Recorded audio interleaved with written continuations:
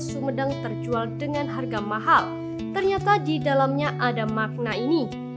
Namun sebelum lanjut, pastikan jari Anda sudah menekan tombol subscribe dan aktifkan lonceng notifikasinya. Jika sudah, saya ucapkan banyak terima kasih.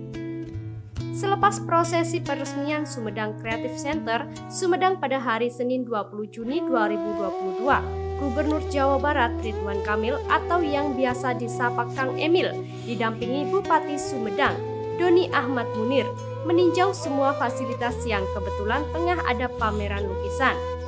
Tak disangka Kang Emil melihat karya lukisan yang menampilkan dirinya bersama istri, Atalia Praratia, dan anak perempuannya yang tengah duduk di tepi sungai Are Swiss.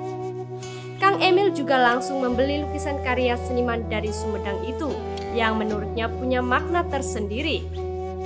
Ucok menuturkan lukisan foto tersebut dibuat saat dirinya sedang turut berduka atas musibah yang menimpa keluarga Kang Emil. Lukisan itu dibuat saya saat sedang turut berduka atas kabar meninggalnya putranya Kang Emil, yaitu Eril yang hanyut di sungai. Ucapnya, ia sedikit juga tidak menyangka jika lukisannya yang berjudul Penantian Kang Emil bakal ada yang membeli dengan harga tinggi. Itu pun yang menjadi alasannya kenapa perasaannya campur aduk saat Kang Emil membeli lukisannya itu.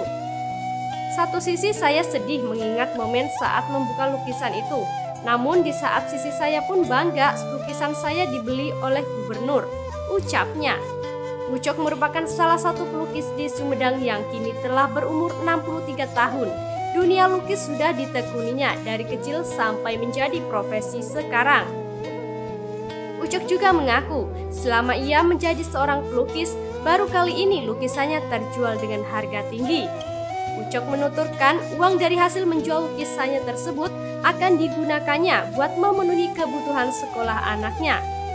Uang ini akan saya gunakan buat keperluan sekolah anak. Ucapnya.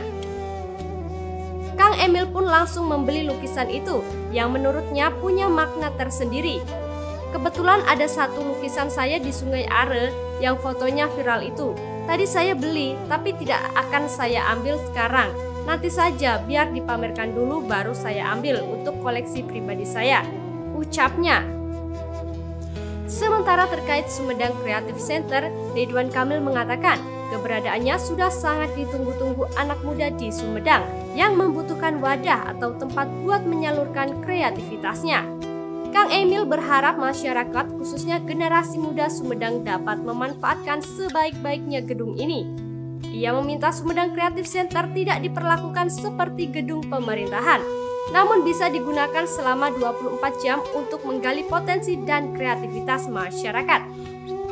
Ada 17 sektor yang difasilitasi Sumedang Creative Center, dibagi menjadi dua bagian besar, yakni kreativitas yang bersifat ekspresi budaya dan kreativitas yang menghasilkan nilai ekonomi. Secara bertahap, Pemda Provinsi Jabar terus membangun gedung Creative Center di 27 kabupaten dan kota.